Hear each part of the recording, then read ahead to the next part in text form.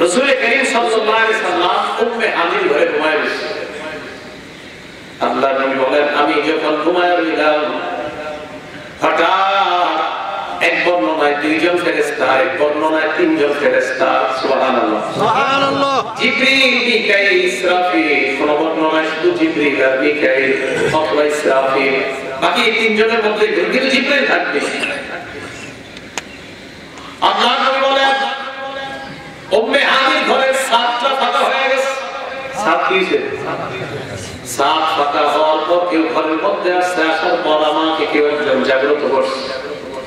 জাগ্রত করার পর নবীজি বলেন আমি তাকায় ঘরের ছাদের দিকে তাকায় দেখলাম ঘরের ছাদ ফাঁকা দেখলাম। হঠাৎ আমি তাকায় দেখলাম অটোমেটিক আবার ছাদটা লেগে যায়। কেন আপনাদের একটা প্রশ্ন উত্তরটা মনে রাখবেন? জিবরিল আমি ছাদ দিয়ে আসলে ছাদ ছাড়া আগে আসতে পারতো না।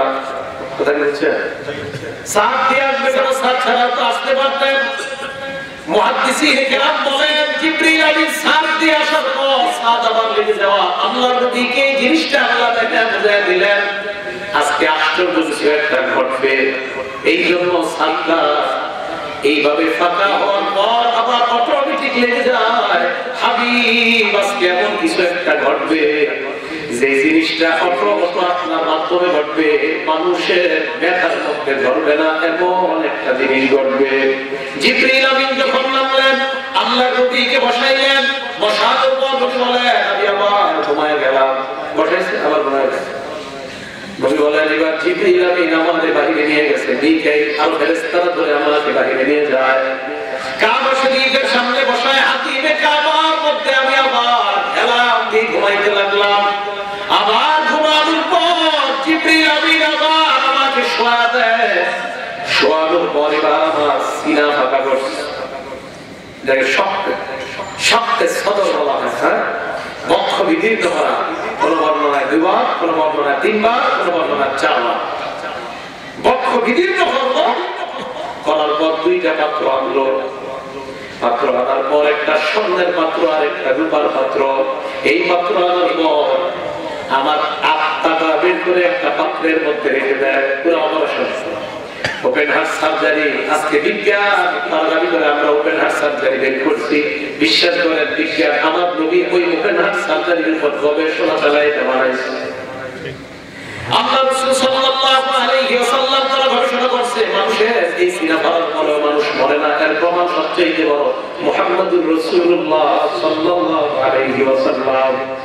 যদি বলে, ইসলাম কি আবিষ্কার করছে? সবচেয়ে বড় প্রমাণ, আমার নবী তোমাদের এই জাতীয় আবিষ্কার ছাড়াই ওপেন হার্ট সার্জারি করার পর আল্লাহ নবীর কোনো ক্ষতি হয় নাই।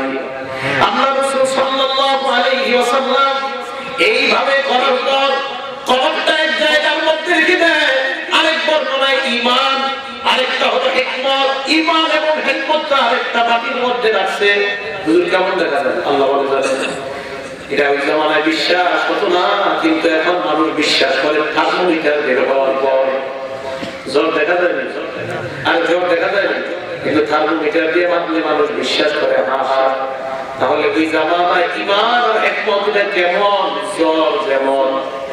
এই জ্বর তো দেখা যায় না মাপলে বের হয় ইমান আর একমত যদি মাপতে মাপার যন্ত্র যদি বের হয়, আবিষ্কার হয় এটা মাপার মাধ্যমে বের হয়ে যাবে।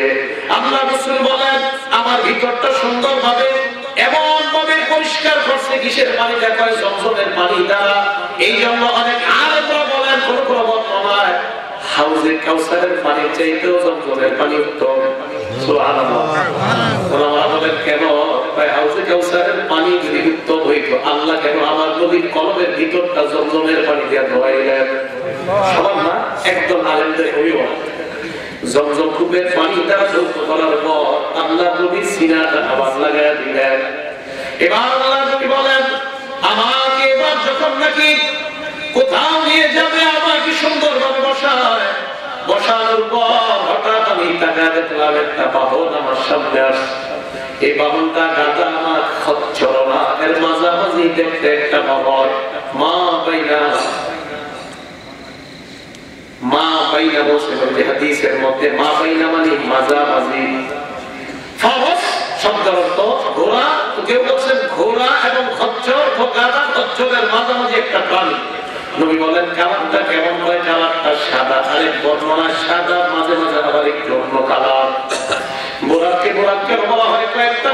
নাম্বার, বোরাক শব্দটা বাড়ি কোন শব্দ থেকে বের হয়েছে?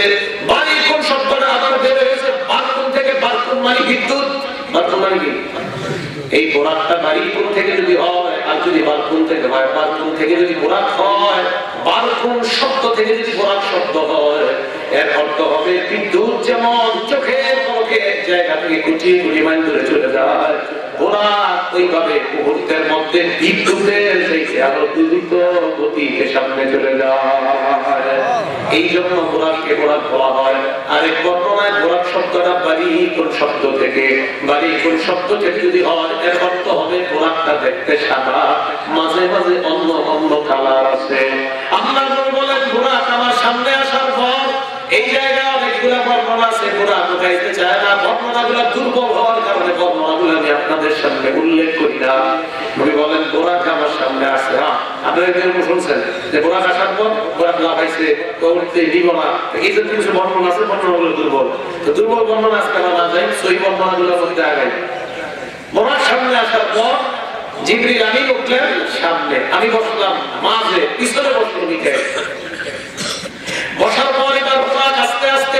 দেখেন এই একটা বুঝলেন নবী বলেন বোরাক যখন ওঠে ওঠার সময় আমি তাকায় দেখলাম, আস্তে আস্তে যখন উপরের দিকে ওঠে হঠাৎ যাইতে যাইতে একটা পাহাড়, ওই পাহাড়ের উপর যাওয়ার পর বোরাক দেখলাম, আস্তে আস্তে তার পা ছেড়ে দেয়, বুঝলেন? বোরাক উপরে যখন ওঠে ওই প্রাণীটা উপরে উঠলে পা উঠে দেয় আবার নামার সময় পা গুলা ছেড়ে দেয় বিজ্ঞান বিমান বানাইছে প্লেন বানাইছে, হেলিকপ্টার বানাইছে, আমি অসংখ্য অমিতবার বিমানে উঠছি। এই জন্য আমার অভিজ্ঞতা, বিজ্ঞান বিমান বানাইছে। ওই বিমানের চাকা গুলা যখন দৌড়ায়, উঠার সময় আস্তে আস্তে এইভাবে বন্ধ করে দেয়। আমার সাথে বর্তমান জামার বিমান যায়। এই জন্য আল্লাহ রসুল বলেন, আমি তাকে দেখলাম পুরাক সামনে দিয়ে যায়, হঠাৎ পুরাক তার পথ ছেড়ে দেয়। ইয়া রাসূলুল্লাহ, নিচের দিকে তাকান। আমি বোরাকের থেকে নিচের দিকে তাকাইলাম, তাকায় দেখলাম সাদা একটা জমিন দেখা যায়। নবীজি বলেন, জিবরিল আমিন আমাকে বললেন, ওই জমিনে নামার জন্য আমি জমিনের মধ্যে নামলাম। জমিনে নামার পর জিবরিল আমিন আমাকে বললেন, ইয়া রাসূলুল্লাহ, সাল্লি হুনাকা রাকাতাইন দুই রাকাত নামাজ আদায় করেন। আমি নামাজ আদায় করলাম আশেপাশে তাকায় দেখলাম খেজুর গাছ। আমি প্রশ্ন করলাম, এটা কোন জায়গা? জিবরিল আমিন এটা হলো ওই জায়গা, এই জায়গাটার নাম হলো ইয়াসরিব এই জায়গায় কেন নবীকে নিলেন? আল্লাহ পাক নবীকে বুঝিয়ে দিলেন, হাবিব, কিছুদিন পরে হিজরত করে আপনাকে মক্কা থেকে চলে যেতে হবে। যাওয়ার পর এই ইয়াসরিব নামক জায়গাটা আপনি যাওয়ার পর নাম হবে মদিনাতুর রাসূল, সুবহানাল্লাহ। মদিনা হবে যেটা? ওই জায়গায় নামাজ নামাজ পড়ে আপনার যদি কয়, আবার পোড়াকে চললাম চলার পর পোড়াক আমার সামনে দিকে যায়। যেইতে যেইতে হঠাৎ আমি তাকে দেখলাম, একটা রাস্তা কি? দেখলাম? রাস্তা। রাস্তার এক মাথার মধ্যে একজন বৃদ্ধ দাঁড়ায় আছে। এ বৃদ্ধ, সাদা চুল। সাদা চুল একজন বৃদ্ধ দাঁড়ায় আছে। আমার ডাক্তার মোহাম্মদ এই দিকে আসো। ডাকলিস জিবরিল আমিন কয় তার ডাকে সারা দিয়েন না? নবীজি কয়, আমি তো তার ডাকে সারা দেওয়ার প্রশ্নই আসে না। আমি সামনে গেলাম, যাওয়ার পর দেখলাম একটা বুড়ি সামনে দাঁড়ায় আছে। কে? বৌড়া বুড়ি। নবীজি বললেন, আমার কেউ ডাকতে আমি সামনের দিকে গেলাম। হঠাৎ আমি টাকা দেখলাম, অনেক সুন্দরী একদম বুড়ি আমার ডাক ডাক দেওয়ার পরে তার দিকেও তাকাইলাম না বারবার ডাকতে আমি ভ্রুক্ষেপ করলাম না। উনি বলেন, মাম্মা চিন্তা ফাত্তামাম আলতাফিতু ইলাইয়া তার দিকে ভ্রুক্ষেপ করলাম না। জিবরিল আমিন কই চলেন সামনে গেলাম যাইতে যাইতে হঠাৎ আমি একটা জায়গা দেখলাম ওই জায়গাটার মধ্যে জিবরিল বলেন আমাকে নামার জন্য আমি নামলাম। নামার পর বললেন দুই রাকাত সালাত আদায় করে নেন আমি আদায় করলাম। করার পর আমি প্রশ্ন করলাম কোন জায়গা? ওইটার নাম হলো তুল পাহাড় যে পাহাড়ে মুসা নবী আল্লাহর সাথে সরাসরি কথা বলতেন। আল্লাহ নবী বলেন আমি আমার বুড়াকে চললাম। সামনে দিয়ে যায় নামলাম আমার পর ওই জায়গায় আমি নামাজ আদায় করলাম প্রশ্ন করলাম বললাম জিবরিল কোন জায়গা? জবাব দিলেন, ইয়া রাসূলুল্লাহ, এটা হলো ওই জায়গা। সেই জায়গা ঈসা আলাইহিস বাবা ছাড়া বৈধ বন্ধায় মায়ের মাধ্যমে আল্লাহ দুনিয়ার মধ্যে পাঠায় দেয়। আল্লাহ তুমি কত আখির করতাল্লাহ আমার সামনে গেলাম। হঠাৎ আমি শুনলাম কে যেন আসসালামু আলাইকা, ইয়া রাসূলুল্লাহ ইয়া রাসূলুল্লাহ।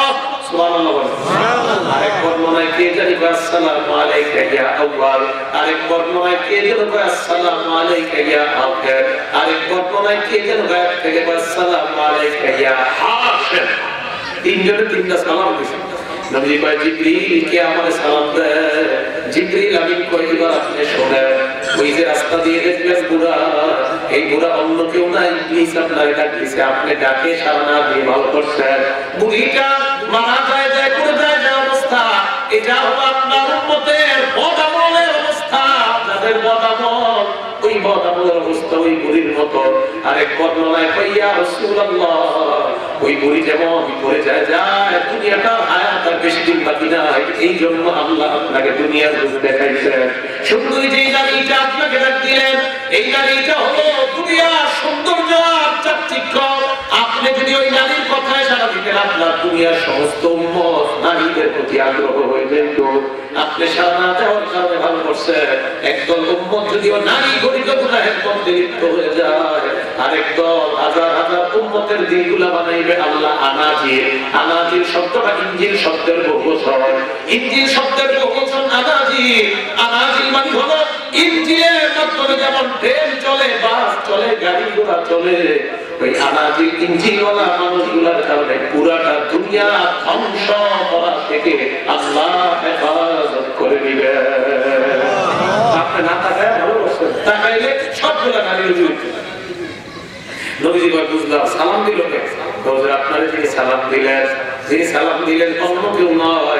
এক নাম্বার যিনি সালাম দিয়েছে তিনি আপনার আব্বা ইব্রাহিম আলাইহিস সালাতু ওয়াস সালাম।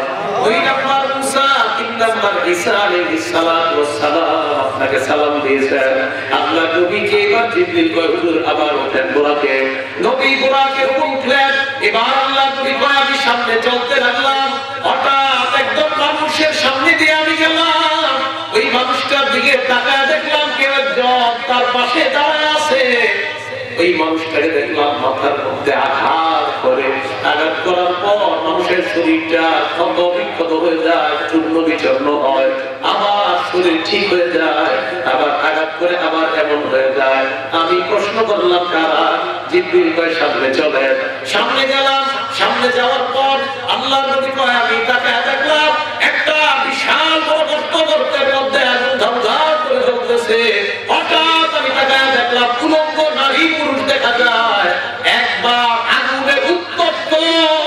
যে আগুনের উত্তপ্ত বিস্ফুলিঙ্গ আমি তাকে দেখলাম নারী একবার উপরে উঠে আবার নিচে যায়, আবার উপরে উঠে আবার নিচে যায়। নবীজিকে আমি, নবীজি বলেন, আমি প্রশ্ন করলাম এরা কারা? জিবরিল আমিন কয় সামনে চলে আমি সামনে গেলাম, এবার যাওয়ার পর দেখলাম, এই জায়গাটা একটু শ্রদ্ধার সাথে আমরা শুনব। আল্লাহ নবী একদল নারীদেরকে আমি দেখলাম তাদের শরীরের যে একটা সৌন্দর্য অংশ আছে, ওই অংশটার সাথে কিছু একটা বেঁধে রাখছে, আমি দেখলাম ভয়ঙ্কর ভাবে নারীরা চলে আসে। আল্লাহ নবী কয় আমি ভয় পেয়ে গেলাম। এই কথা বলার পর নবীজি প্রশ্ন করলেন, জিব্রিল, এরা কারা? জিব্রিল কয়, সামনে চলেন। আমি সামনে গেলাম যেমন পর দেখলাম, একদল মানুষ ফসল লাগায়, লাগানোর সাথে সাথে ফসল হয়ে যায়। আবার ফসল কাটে, আবার ফসল লাগায়, আবার ফসল হয়ে যায়। নবীজি বলেন, আমি প্রশ্ন করলাম কারা জিব্রিল কয় সামনে চলেন আমি সামনে গেলাম। হঠাৎ আমি তাকায় দেখলাম একটা লোক কাঠ ভর্তি একটা বস্তার মধ্যে ঢুকায়, ঢুকানোর পর ওই বস্তাটা যখন ফিল আপ হয়ে যায়, মাথার মধ্যে উঠায়। উঠানোর পর আবার লোকটা পড়ে যায়, আবার বস্তার মধ্যে কান পড়ে আবার উঠায়, আবার পড়ে যায়। আপনার নবী বলেন, প্রশ্ন করলাম, কারা কয় সামনে চলে? সামনে গেলাম, যাওয়ার পর দেখলাম বিশাল বড় একটা রক্তের নদী দেখা যায়। ওই রক্তের নদীর মধ্যে একদল মানুষ সাঁতার কাটে, আর একদলকে তাকায় দেখলাম, রাস্তার মধ্যে, পাড়ের মধ্যে দাঁড়ায় পাথর মারে, মানুষগুলা সাঁতার কাটতে কাটতে যেই মাত্র নদীর কিনারায় আসে, আসার পর পাথর মারলে আবার নদীর মাঝখানে চলে যায়। আমি বললাম তারা কারা? জিবরিল আমিন বলি ইয়া রাসূলুল্লাহ। এবার আপনি শুনেন যে মানুষটাকে দেখলেন, মাথা ভাঙতেছে বারবার।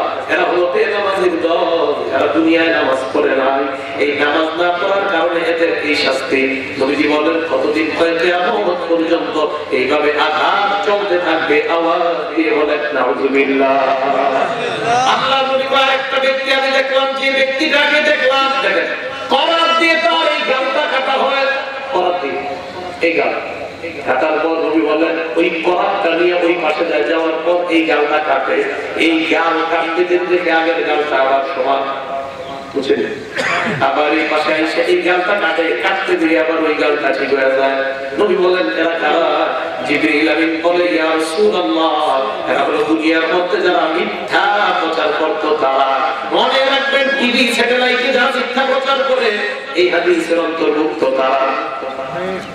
টিভি স্যাটেলাইট ইত্যাদি যারা মিথ্যা প্রচার করে এই হাদিসের অন্তর্ভুক্ত।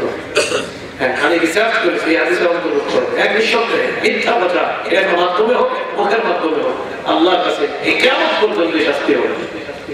নবীজি বলেন এরপর আমি তাদেরকে দেখলাম উলঙ্গ নারী পুরুষ তারা তারা। ওই হুজুরেরা হলো দুনিয়ার মধ্যে সিনা ব্যভিচার তারা করতো নিজের বিবি অন্যের কাছে নিজের বিবি ঘরে থাকতেও যারা অন্যায় ভাবে সিনা ব্যভিচার করতো এরা তারা।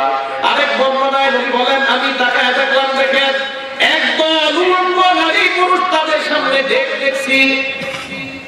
ওই ডেকের মধ্যে কাঁচা গোস্ত, ওই কাঁচা গোস্তগুলা তারা খায়। কাঁচা গোস্ত?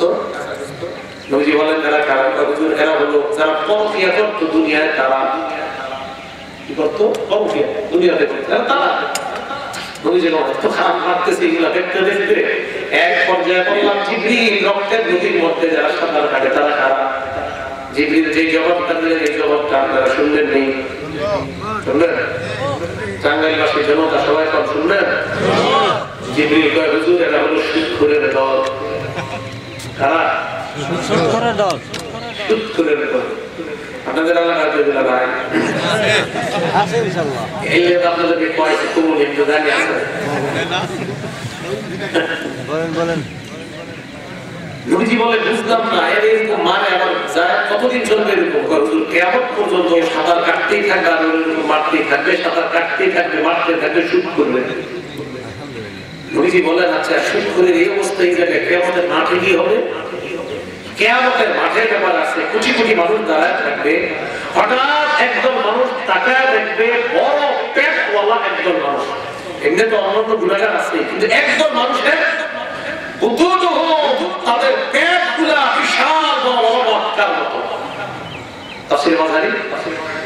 দেখতে পারেন। তো এই পেটগুলো দেখার পর থেকে দেখা যাবে পেটের ভিতরে সাপ দৌড়ে গেছে। কোটি কোটি না সুদ খুলের দল যারা দুনিয়াতে সুদ খাইল তারা সুদ সুদ সুদ সুদি চাকরি বাকরি দরকার ছিল বলেন? হ্যাঁ সুদি যদি হয়ে চাকরি দরকার চাকরির বিধান আল্লাহ কেন দিবেন? কর্ম করার বিধান কেন দিলেন যদি সুদেই সবকিছু হয়ে যেত? তাহলে কি সুদ খাওয়া যাবে? বলেন, সুদ খাওয়া যাবে? নবী আমি যাইতে যাইতে হঠাৎ আমি একটা মসজিদের মধ্যে নামলাম। এই মসজিদটা অন্য কোনো মসজিদ নয়, এই মসজিদের নাম হলো মুকাদ্দাস। রাখবেন। বাইতুল মুকাদ্দাস পর্যন্ত মেয়ারাজকে যদি অস্বীকার করে তার ঈমান চলে যাবে, কাফের হয়ে যাবে। কি বললাম? মক্কা থেকে বাইতুল মুকাদ্দাস পর্যন্ত আল্লাহ নবীর মেয়ারাজকে অস্বীকার করলে কাফের হবে আর বাইতুল মুকাদ্দাস থেকে আরশ পর্যন্ত অস্বীকার করলে ফাসিক হবে। মাসালা মনে রাখবেন হ্যাঁ? তাহলে কাফের হবে কেমন কারণ বাইতুল মুকাদ্দাস পর্যন্ত মক্কা থেকে বাইতুল মুকাদ্দাস পর্যন্ত বর্ণনাটা আল্লাহ কোরআনে ডাইরেক্ট তো এই জায়গা অস্বীকার করলে কোরআন অস্বীকার করা কোরআন অস্বীকার করলে ইমান থাকে না যায়? থাকে না। ইমান থাকে না চলে যায় চলে যায়। এই জন্য আল্লাহ বলেন সুবহানাল্লাযী আসরা বিআবদিহি লাইলাম মিনাল মাসজিদিল হারাম। ইলাল মাসজিদিল আকসা কত পবিত্রতা বর্ণনা করছি, ওই সত্তার যিনি রাতের বেলায় তার বান্দাকে ভ্রমণ করাছেন মক্কা থেকে মসজিদে আকসা বাইতুল মুকাদ্দাস পর্যন্ত রাতের সামান্য অংশে ভ্রমণ করিয়েছেন। আল্লাহ এই জায়গায় বলছেন, আব্দুল। মনে রাখবেন, আব্দুল বলা হয় যার মধ্যে দুইটা জিনিস আছে, শরীর এবং আত্মা। শরীর এবং অনেকে বলতে চায়, নবীর মেয়ারাজ হয়েছে স্বপ্নে। আল্লাহ বলেন বিআব্দিহি যিনি তার বান্দারে দিছে, মনে রাখবেন বান্দা তাকে বলা হয় যার মধ্যে আত্মা থাকে এবং শরীর থাকে। নবীর যদি স্বপ্নে মেয়ারাজ হয়, তাহলে তো নবীর শরীরটা মেয়ারাজের মধ্যে যায় না। আল্লাহ বলেছেন, তার বান্দা, এই বান্দা প্রমাণ করে আল্লাহ নবী। দেহ এবং আত্মা সরাসরি আমার আল্লাহ আরশ পর্যন্ত পৌঁছায় আল্লাহ নবী বলেন, বাইতুল মুকাদ্দাসে যাওয়ার পর দেয়াল আছে না দেয়াল? এই দেয়ালের মধ্যে দেখলাম এবার হাত হাত হাত দিয়ে দেখলাম, একটা জায়গায় ইট পরিমাণ একটা জায়গা ফাঁকা, ইট, দেয়াল। হাত দিয়ে দেখছি এটা ফাঁকা লেখছে ওই ইটের জায়গাটায় অন্যান্য ইব্রাহিম আলাইহিস সালাম, আপনারা খালি বলেন বোরাক আমাদের নবী চালাইছে। ইব্রাহিম চালিয়েছে এখানে প্রমাণ আছে। তো অন্যান্য নবীরা তাদের বাহন চালানোর পর এই বাইতুল মুকাদ্দাসের আশেপাশে তো প্রচুর নবী অসংখ্য অগণিত নবী কিন্তু বাইতুল মুকাদ্দাসের আশেপাশে আল্লাহ বলেছেন, বারাকনা হাওলা বাইতুল মুকাদ্দাসের চারু চতুর্পাশকে আমি আল্লাহ বরকতপূর্ণ করেছি। কেন বলছেন? অসংখ্য অগণিত নবী আমি এই জায়গায় দিয়েছি তো নবীরা ঘোড়া চালিয়ে উট চালিয়ে, ইব্রাহিম নবী ঘোড়া চালিয়ে, ইব্রাহিম নবী কিন্তু একই সময়ে দুই জায়গায় কাজ করতেন, মক্কায়ও বাইতুল মুকাদ্দাসে কোন কোন দিন সকালবেলা উনি বাহন চালাইতেন বিকালে গিয়ে মক্কায় খুঁজতেন, রাতে আজানের সময় দিয়ে পরের দিন আবার চলে যেতেন। এটা আমাদের আলোচনার বিষয় না। শুনে আগে ইমানের তাফসিরে গেলে ওই আলোচনা করব তো এই জায়গার মধ্যে ইটটা এইভাবে দিলেন। ইট এই মানে মতো এইভাবে হাত দেওয়ার মধ্যে এটা কেমন জানি ফাঁকা হয়ে গেছে। জিবরিল আমিনকে বললেন, জিবরিল, এই জায়গাটা এরকম ফাঁকা কেন? কয়, হুজুর এটা আসলে ফাঁকা ছিল। ফাঁকা থাকার কারণ হলো আগের নবীরা তাদের বাহনগুলা এই জায়গায় বাঁধতেন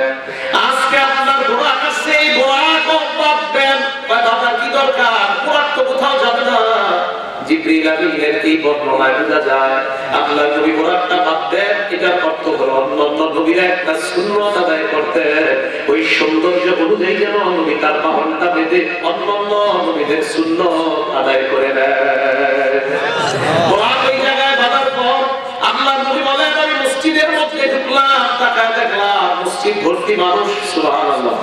আল্লাহ একটু পরে ফজরের নামাজ হবে? ফজরের টাইম আমি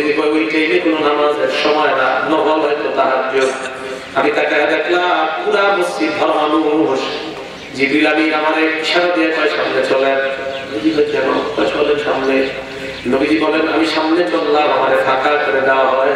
আমি সামনে যাওয়ার পর তাকায় দেখলাম, কেউ দাঁড়ানোর জায়গা নাই ইমামের জায়গাটা খালি। আমিন কানের গোড়ায় মুখ লাগায় কয় ইমামের জায়গায় অন্য কেউ দাঁড়াবে না, সবাই দাঁড়িয়ে আছে আপনার ইমামতির নামাজ আদায় করার জন্য। সামনে নামাজ পড়াইলে দুই রেখা জিবি আমি কানের করে মুখ লাগাই জানেন কারা নামাজ পড়ছে। কারা? মানুষরা পড়ছে মানুষরা পড়ছে মানুষ বলতে এই তো অসংখ্য অবহিত মানুষ এইটাই তো বলছে। কয় না না জিবরিল আমিন কয় যত নবী আল্লাহ পাঠাইছেন এক লক্ষ চব্বিশ হাজার দুই লক্ষ চব্বিশে যে বর্ণনাটা শুনে এটা দুর্বল বর্ণনা মনে এটা কাসিরে যদি আসছে বর্ণনাটা দুর্বল আসলে নবীর সংখ্যা কত আল্লাহ ভালো জানেন। আমরা একটু এক লক্ষ দুই লক্ষ বর্ণনাটা আছে দুর্বল। আসলে নবীর সংখ্যা কত এটা ভালো জানে একমাত্র? যত দুনিয়ায় পাঠিয়েছেন সমস্ত নবীরা সহ বাহিরে আল্লাহ কোটি কোটি ফেরেশতারা আজকে আপনার পিছনে দুই রাকাত নামাজ জামাতের সাথে আদায় করে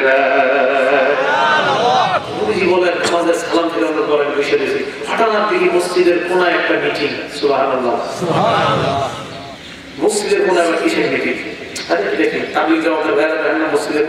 যায় এরকম কি? মসজিদের কোনায় আবার দেখেন। জিবরিল আমিন কানে কানে কয় হুজুর চলেন আপনিও দেখতে হবে জায়গায় যোগ দিতে হবে কই কেন ওইটা হলো সম্বর্ধনা অনুষ্ঠান কই কিসের? কই ইব্রাহিম আলাইহিস সালাতু ওয়াসসালাম এবং আদম নবী। ওনাদের দুইজনের পরিচালনায় আপনাকে সম্বর্ধনা দেওয়ার জন্য একটা আয়োজন করা হয়েছে। নবীজি বলেন আমি গেলাম। যাওয়ার পরে মানে ইব্রাহিম আলাইহিস সালাতু ওয়াসসালাম দাঁড়ায় গেলেন। পরিচালনা ইব্রাহিম নবী মানে উপস্থাপন উপস্থাপন ইব্রাহিম নবী দ্বারা বললেন, এখন আপনাদের সামনে ভাষণ দিলেন বাবা আদম। আদম নবী দ্বারা ভাষণ দিলেন, আলহামদুলিল্লাহ জাআলানি আবাকুম। সমস্ত প্রশংসা আল্লাহ যিনি আমাকে তোমাদের বাবা বানাইছেন। কি বলে স্পেশালি বিশেষভাবে মোহাম্মদের মতো সন্তান আল্লাহ আমাকে দান করেছে। এই জন্য সমস্ত প্রশংসা আল্লাহ। সব নবীরা এক এক করে দিছে আসান নবী দিছে মুসা নবী দিছে ঈসা নবী এক একজনের পর এক একজনের ভাষণ দেওয়ার পর ইব্রাহিম সালাম ভাষণ দিয়ে দাঁড়ায় পর আর মোহাম্মদ সাল্লাল্লাহু আলাইহি সাল্লাম ইব্রাহিমের ভাষণ শেষ হওয়ার পর এখন আপনাদের সামনে সমাপনী বক্তব্য দিবে মোহাম্মদ সাল্লাল্লাহু আলাইহি সাল্লাম। আমার সন্তান মোহাম্মদ এখন আপনাদের সামনে সমাপনী বক্তব্য দিবেন আমাদের নবীজি দাঁড়ায়। তো নবীজি দাঁড়ানোর পর নবীজি সাল্লাল্লাহু আলাইহি সাল্লাম এমন একটা ভাষণ দিছে। এই ভাষণ দেওয়ার পর ইব্রাহিম আলাইহিস সালাম তারা নবী অন্যান্য নবীদেরকে বলতেছে, আপনারা এই যে মোহাম্মদের ভাষণ শুনলেন, কি বুঝে আসলো? দেখে। তো নবীরা বলেন ওনার ভাষণের, আপনার উপস্থাপনা শৈলী, ভাষার মাধুর্যতা এবং তার সাবলীর উপস্থাপনা সবই সুন্দর বলতেছে। ইব্রাহিম নবী কয়, আমার সন্তানের ভাষণ প্রমাণ করে, ওর ভাষণটাই প্রমাণ করে আল্লাহ কেন তাকে শ্রেষ্ঠ নবী বানাইছে? ভাষণ করব শেষ। নাম এই হ্যাঁ, মানে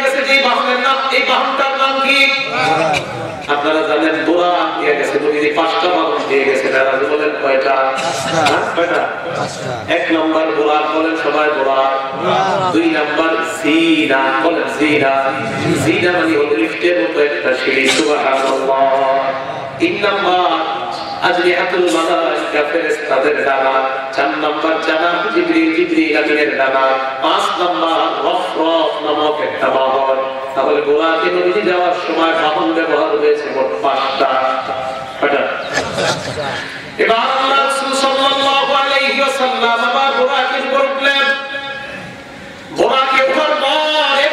জিনা সিঁড়ি চলে আসছে লিফটের মতো সিঁড়ি।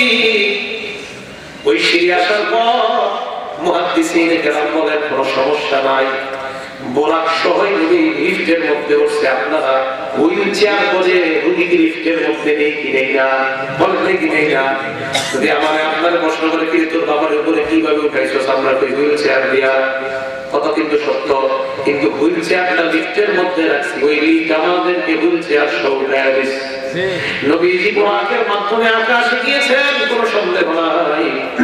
তবে আল্লাহ রসুল ওই সহ রসুল সাল্লাল্লাহু আলাইহি ওয়াসাল্লাম লিফটের মতো একটা সিঁড়ির মধ্যে ওঠার পর ওই সিঁড়িটা লিফটের মতো জিবরিল আমিন আমার নবী এবং মিকাইলকে আল্লাহ মত আসমানে পৌঁছায় মানে বোরাক সহ যদি ওটাতে ওঠে সমস্যা আছে মানে বোরাক সহ উঠছে ওইটা উঠায় গেছে নবীজির উপরে প্রথম আসমানে যাওয়ার পর, প্রথম আসমানের দায়িত্বশীল ফেরেশতা, ওই ফেরেশতার নাম ইসমাঈল কি নাম ইসমাঈলের অধীনে হাজার ফেরেশতা, ওই বারো হাজার ফেরেশতার অধীনে আবার এক লাখ ফেরেশতা আজকে ক্যালকুলেটর হিসাব করবেন মোট কতজন?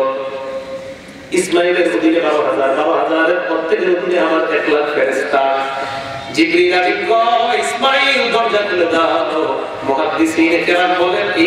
প্রমাণ করে কারও বাড়িতে যাইতে হলে অনুমতি নেওয়ার প্রয়োজন আছে না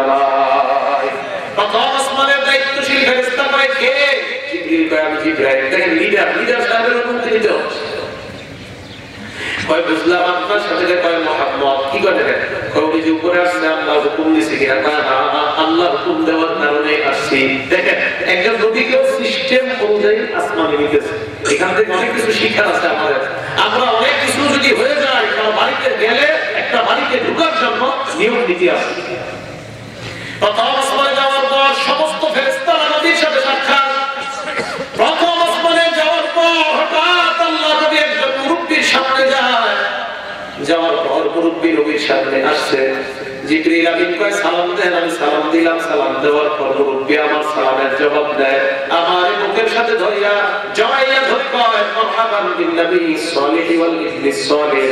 স্বাগত নেককার নবী স্বাগত নেককার সন্তান। আমি ওই ব্যক্তিটার দিকে তাকায় দেখলাম, একবার দেখেন, উনি ডান দিকে তাকায়, মুরব্বী একবার ডান দিকে তাকায়। ডান দিকে তাকায়, উনি হাসি দেয়। আরেকবার বাম দিকে তাকায়, বাম দিকে তাকাইলে চেহারাটা মলিন হয়ে যায়, বুঝছেন? মুরব্বীর দিকে আমি তাকাইলাম তাকায় দেখলাম একবার দিকে হাসি আরেকবার বাম দিকে দিকে চেহারাটা মলিন হয়ে যায় প্রশ্ন করলাম কি ব্যাপার দিকে আর বাম দিকের ব্যাপারটা বুঝলাম না উনি বললেন আদম আদম আলাইহিস সালাম দিকে আর তাদেরকে দেখে চেহারাটা হাস্যর্য হয়ে যায়। বাম দিকে তাকাইলে জাহান্নামী সন্তানগুলোকে দেখে তাই চেহারাটা মলিন হয়ে যায়। আল্লাহ নবী বলেন বাবা আদম আমাকে বললেন এই মোহাম্মদ আমার সন্তান মানুষগুলাকে বলবা বেশি বেশি আমল করে যেন তারা ডান্তি গলা উন্মত হয়ে যায়। আল্লাহ নবী বলেন এবার আমি দুই নাম্বার আসমানে গেলাম দ্বিতীয় আসমানে যাওয়ার পর ঈসা নবীর সাথে সাক্ষাৎ কোন নবী? ঈসা নবীর সাথে আমার সাক্ষাৎ হওয়ার পর ঈসা বলেন সাথে আল্লাহ কেন সাক্ষাৎ হয়ে যায়? সাথে সাক্ষাৎ এই আরেকটা হলো এই আল্লাহ রব্বুল সাথে কথা বলা জানা দেয়। আমি আপনার উম্মত হইয়া আখির জামানায় আবার আসরের নামাজের সময় ইমাম মাহদি আসরের নামাজে দাঁড়াবে, নামাজ তখনও শুরু করবে না। যেই মাত্র জামাত শুরু হবে, ইমামতি দাঁড়াবে, আল্লাহ আকবার বলবে, ওই টাইমে আওয়াজ আনতে বাইতুল মুকাদ্দাসের সাদে কে যেন আসছে? ইমাম মাহদি জনগণকে ওই সাদের উপর গিয়ে দেখবে, ঈসা আলাইহিস সালাতু ওয়াস সালাম বাইতুল মুকাদ্দাসের সাদের উপর উপস্থিত হয়ে যায়। হ্যাঁ?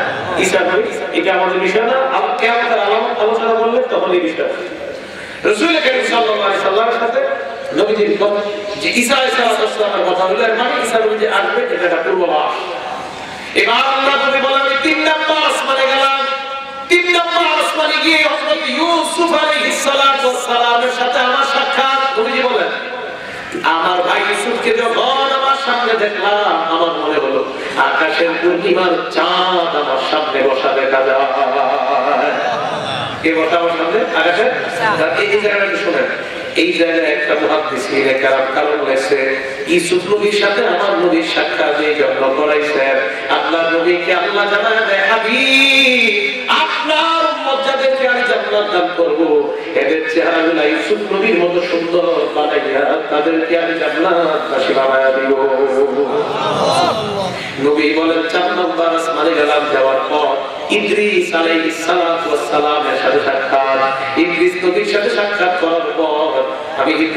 সাথে আমার অনেক কথা কেমন আছো?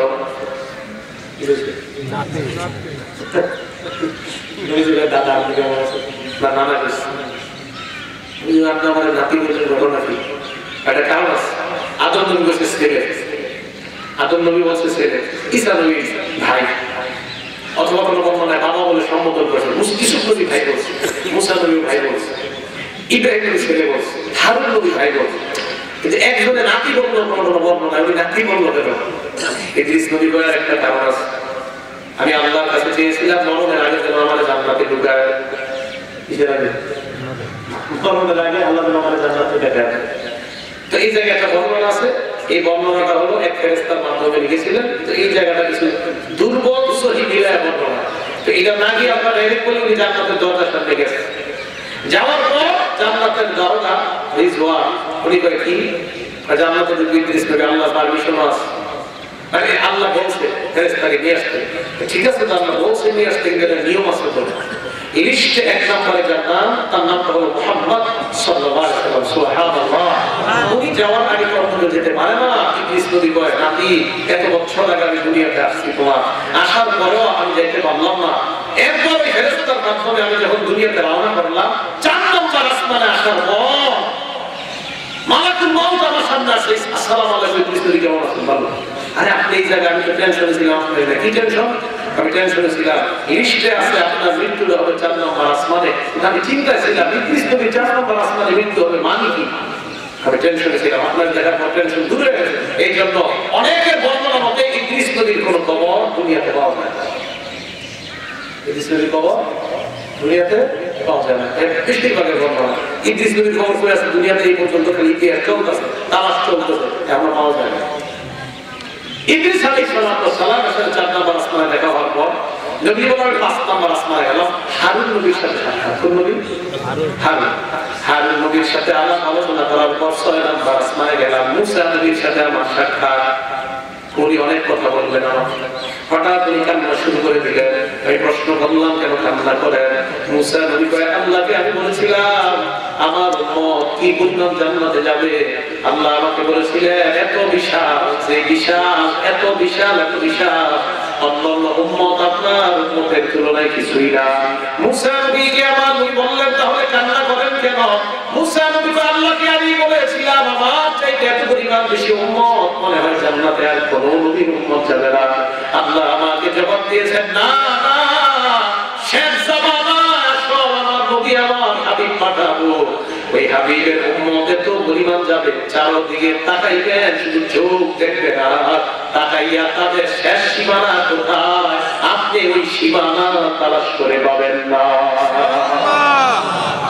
তোমার উন্মত তো বেশি হবে, আমার উন্মত তো কম হবে, আপনার তুলনায় কানতেছে আমার উন্মত কেন গুণা করল? আমার উন্মত আরও কেন বেশি বানাবো নবীজি বলেন, এবার আমি গেলাম সাত নম্বর আসমানে। একটা ঘর ঘরে বসে একজন মুরব্বী বসা আরেক বর্ণনা একটা বড় গাছ দেখলাম, গাছের গোড়ায় একজন মুরব্বী বসা আমি ওই মুরব্বীকে দেখলাম মুরব্বী আমাকে স্বাগত জানাইলেন সন্তান বললেন। আমি দেখলাম, তার সামনে অনেকগুলা বাচ্চা সন্তান বসা। আমাকে জিবরিল আমিন বললেন উপরে ওঠার জন্য গাছের উপরে উঠলাম, অনেক কিছুই আমি দেখলাম। এবার আমি জিবরিল আমিনকে প্রশ্ন করলাম ওনার সামনে বাচ্চাগুলাকে ইব্রাহিম এই বাচ্চাগুলা তারা যারা দুনিয়াতে নিয়োগ করেছে, আমার সন্তানটাকে কোরআনের হাফেজ বানাবো। পেটে থাকতেও নিয়োগ করেছে, সন্তানটাকে কোরআনের হাফেজ বানাবো। আলেম বানাবো দুনিয়াতে আসার পর, হাফেজ আলেম বানানো তাদের সাথে কুলায় নাই, অথবা তাদের তৌফিক হয় নাই। এর আগে দুনিয়া থেকে সন্তানটা বিদায় নিয়ে নেয়। মা বাবার নিয়ত আল্লাহ জানতে ওই নিয়ত পুরা করার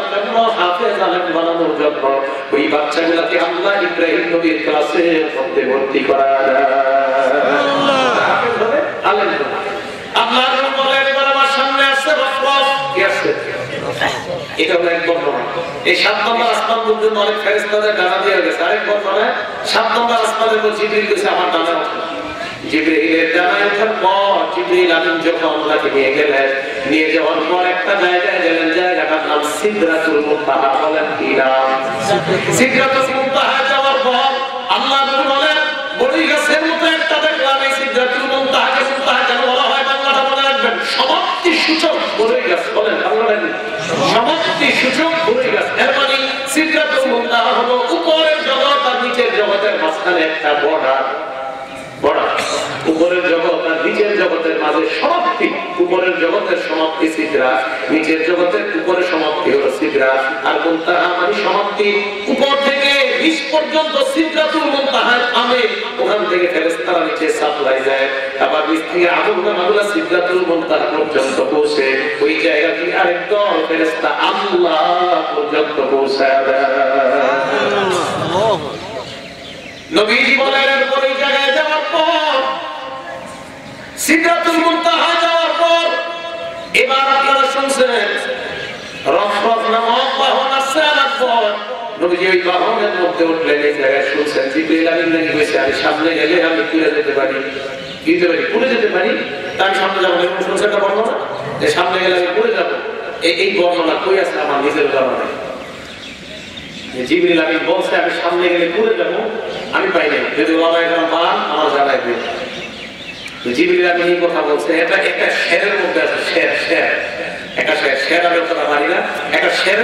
কবি বলেন যে আমি যদি হই, তো আমার পা যাবে, আমার শরীর আপনার পুরে ধর্ম দুরিশ্বাস হয়ে যাবে।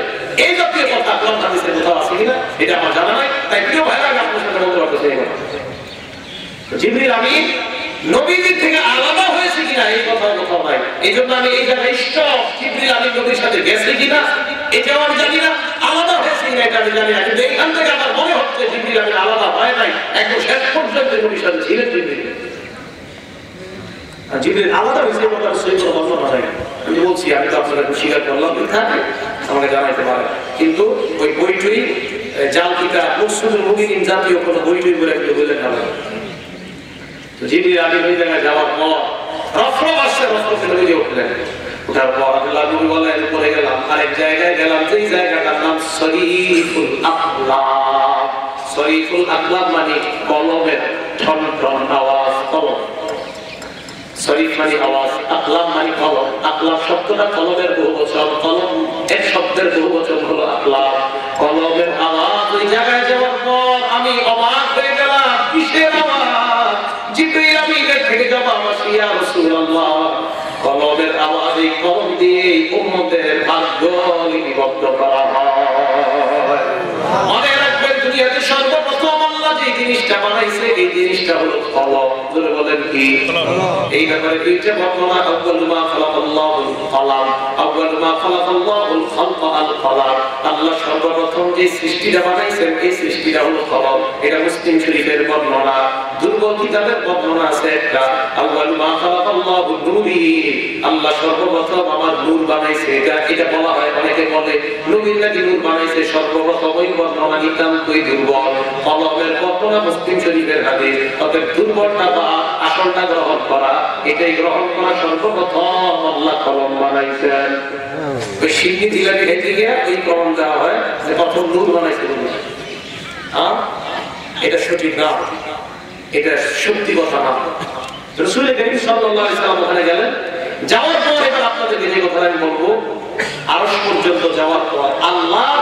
নবীজি সরাসরি দেখছি কিনা? এই ব্যাপারটা সাহাবাদের মাঝে সিদ্দিকা এক পক্ষে ছিলেন জায়গা আমরা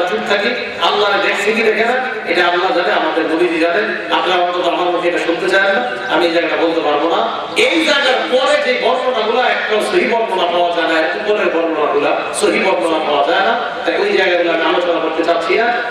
আয়সা সিদ্দিকা আব্দুল্লাহ ইবনে আব্বাসের মধ্যে এই জায়গা মতভেদ হয়ে গিয়েছে নবী সাল্লাল্লাহু আলাইহি সাল্লাম ওখানে গিয়ে আল্লাহর সাথে কথোপকথন হয়েছে এটা বলা যায়। তো সরাসরি দেখেছেন কিনা? এটার মধ্যে সাহাবাদের মাঝে বিদ্যুৎ হয়ে গেছে। তো নবী সাল্লাল্লাহু আলাইহি সাল্লাম ওখানে গেলেন যাওয়ার পরে আল্লাহ রাব্বুল আলামিন নবীজি বললেন হাবিব তায়েফের মাঠে আপনি বলেছেন আমি আপনার কার কাছে ছেড়ে দিচ্ছি? আছে? হ্যাঁ। তায়েফের মাঠে আপনি বলছেন আপনার কার কাছে ছেড়ে দিচ্ছি? আমি আপনাকে কারও কাছে ছাড়ি নাই। আমি আপনার আলোচনাকে পুরো দুনিয়ার কাছে উঁচু করে দিলাম। এই আলোচনা কি উঠো আমার নামের সাথে আপনার নামটাও দুনিয়ার মানুষ স্মরণ করবে। লা ইলাহা ইল্লাল্লাহ মধ্যে আল্লাহর নাম উচ্চারিত হয়, মোহাম্মদ সাল্লাল্লাহু আলাইহি নাম উচ্চারিত হয়। নামাজের মধ্যে আল্লাহর নাম হয়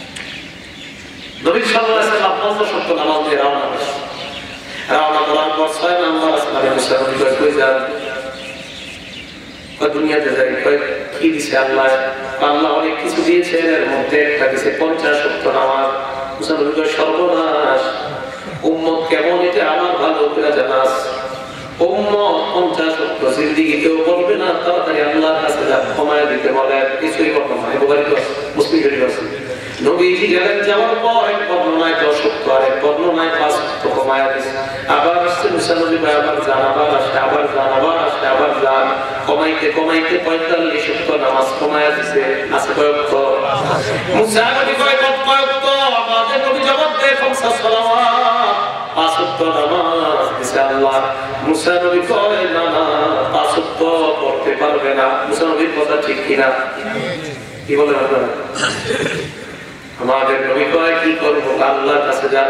নবী আমার লজ্জা হয় আর আল্লাহর কাছে যাইতে। দিয়ে দুনিয়ায় রওনা করলেন আল্লাহ দিয়ে বলে নামাজ দিয়েছিলাম আপনার উম্মত পঞ্চাশ ওয়াক্ত বললে পঞ্চাশ ওয়াক্তের সব দান করতাম। আপনার উম্মতকে জানা দেন এদের উপর পাঁচ ওয়াক্ত নামাজ আমি ফরজ করলাম। আমি আল্লাহর কথার কোনো হয় না। পঞ্চাশ ওয়াক্ত করলে সব দিতাম, পঞ্চাশ কথা আগের তাই। পাঁচ ওয়াক্ত যদি পরে পঞ্চাশ সব দিয়ে আমার কথা নড়চড় নয় ওয়াক্ত সব সব হলেই ঠিক থাকবে। ওয়াক্ত করতে বলে আমরা তো বলি না। নবীজি দুনিয়াতে আসলেন আসার পর নবীজি বলেন যে মাত্র আসতে লাগলাম, হঠাৎ আমি দেখলাম একদল মানুষ। আমি দেখি আর মক্কার অমুক মক্কার ওই ওই দলগুলা। এই জায়গাটা শুনে আমি ওই দলের কয়েকজনকে ডাক দিলাম। তারা এভাবে উপর উপর তাকাইছে। অন্ধকারে আমার দেখে না। হঠাৎ তাদের একটা বাহন হারায় গেছে উঠ হারায় গেছে, ওই লোক তালাশ করতে গেছে, তাদের ওই জায়গায় পানি ছিল। আমি একটু পানি পান করছি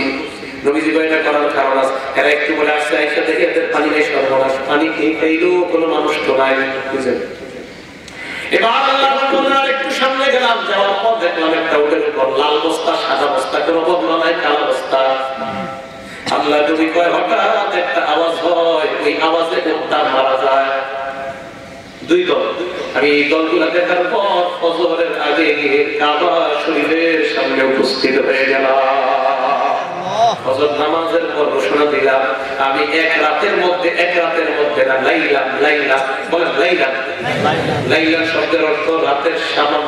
অংশে রাতের অংশে আমি দুনিয়া থেকে সাত আসমানের উপর সিদরাতুল মুনতাহা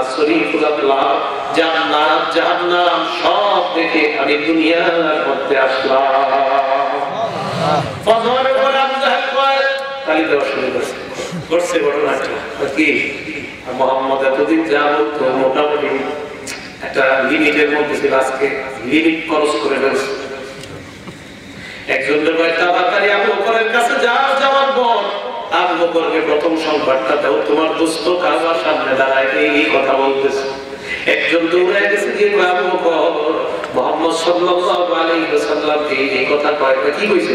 কয় সামান্য অংশ সব ভ্রমণ করে আসছে। আবু বকর কয়, আমার নবী হ্যাঁ। আবু বকর কয়, সন্দেহ ছাড়া আমি বিশ্বাস করে নিলাম। দৌড়ে আসছে বস। আবু জাহেল কি না, কাজ হয় নাই। আবু বকর বিশ্বাস করছে, আবু বকর কয় আমি চিন্তায় করে গেলাম। নিশ্চিত আমার নবীর জ্বালাইতেছে কাবা চত্বরে আমি দৌড়ে গেলাম। কাবা চত্বরে যাওয়ার পর আল্লাহ রাসূল সাল্লাল্লাহু আলাইহি ওয়াসাল্লাম বলতে লাগলেন, শুধু তাই নয়, রাতের বেলা আসার সময় আমি তোমাদের দুইটা ব্যবসায়ী কাফেলাকে দেখলাম। একদল কাফেলাকে অমুক তাদের পানি আমি পান করেছিলাম আইসা তারা পানিটা পায় নাই। তোমরা ওরা আসলে জিজ্ঞাসা করবা যে তারা সত্য কিনা? আরেক দলের বুক লাফাইতে লাফাইতে আমার বুড়াকের আওয়াজে বুকটা মারা গেছে। এই হাদিস থেকে বোঝা যায়, হেলিকপ্টার আর জাহাজের আওয়াজটাও নকল করা। হ্যাঁ?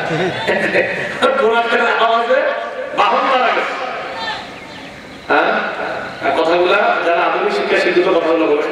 বিমান সবকে সদর।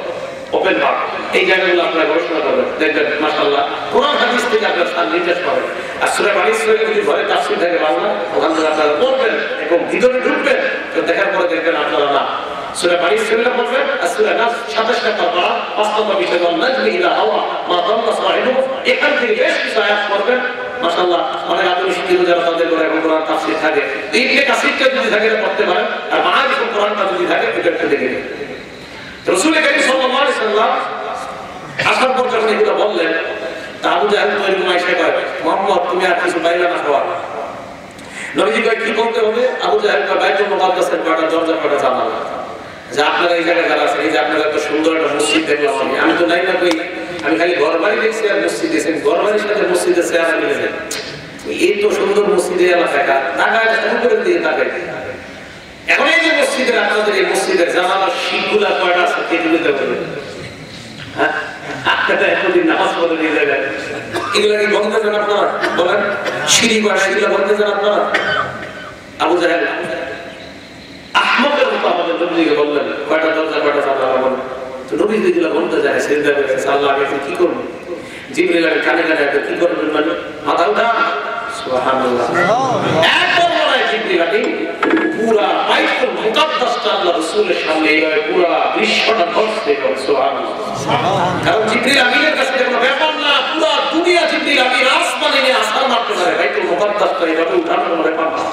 এক দুই আরেক বর্ণনায় মুহাদ্দিসিনে কেরাম বলেন মক্কার কাবার সামনে থেকে বাইতুল মুকাদ্দাস পর্যন্ত আল্লাহ রাব্বুল আলামিন নবীজিকে বাইতুল মুকাদ্দাস দেখার জন্য একটা অলৌকিক ব্যবস্থা করে দিয়েছেন ওই জায়গায় বাইতুল মুকাদ্দাসটা জিবরিল আমিন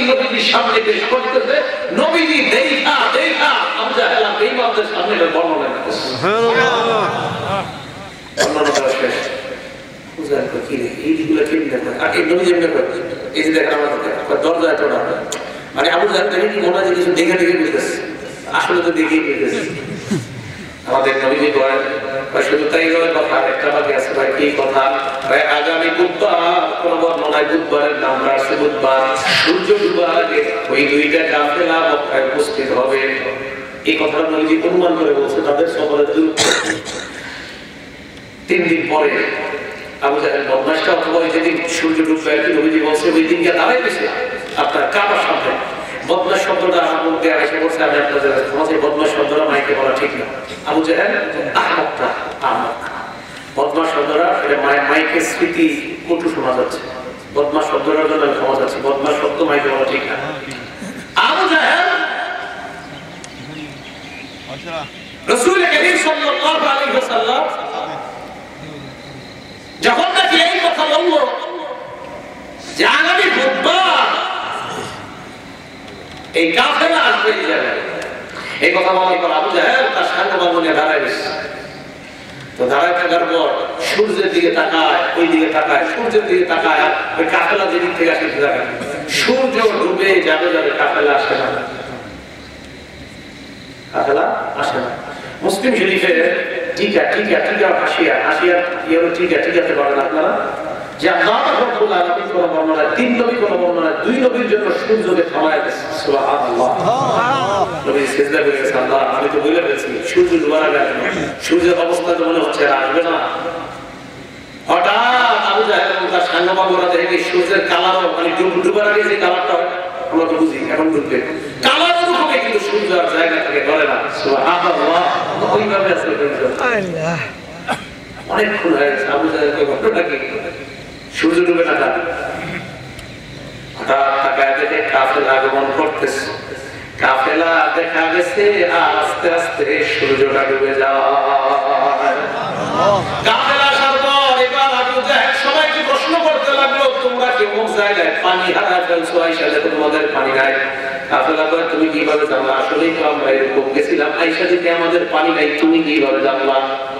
আবু জাহেল কইতে চায় না অন্যরা বলে দেয় মোহাম্মদ বলছে নাকি ওই জায়গায় মেয়ারাজ হয়েছে মোহাম্মদের আসার সময় নাকি তোমাদের পানি পান করছে ওই দলের অসংখ্য অগণিত নগর কালিমা বলে মুসলমান হয়ে যায়।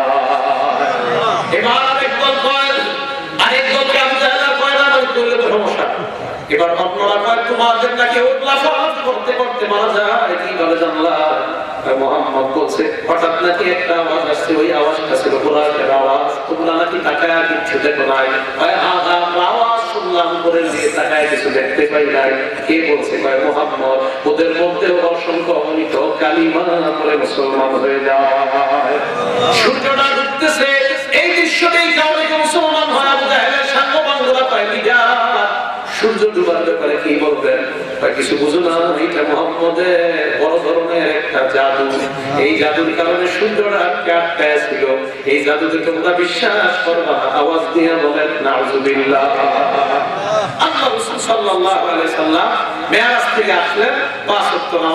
উম্মতের জন্য শিক্ষা দিয়ে দিলেন।